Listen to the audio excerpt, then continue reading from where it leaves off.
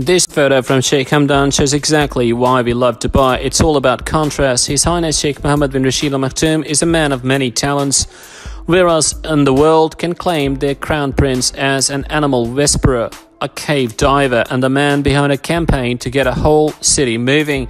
The 35 year old is also passionate about the photography, and with his latest pictures, it shows on Tuesday, Sheikh Hamdan shared a shot of the Burj Al Khalifa seen from the desert, complete with several oryx and a giraffe. We'll let you have a proper look. Pretty special, right? We love the contrast of natural beauty and man made desert pics and shots of the Burj are two of our favorite things, and here's both in one.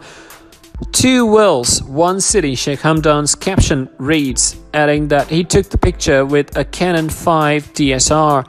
We are sure the camera company won't mind that little shootout to Fazza's 6 million Instagram followers. Speaking of the Crown Prince, only passed that milestone in the last week or so.